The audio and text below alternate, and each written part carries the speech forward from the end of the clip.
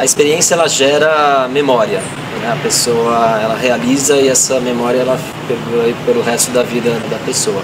O dinheiro não, você esquece no dia seguinte para que, que ele foi usado.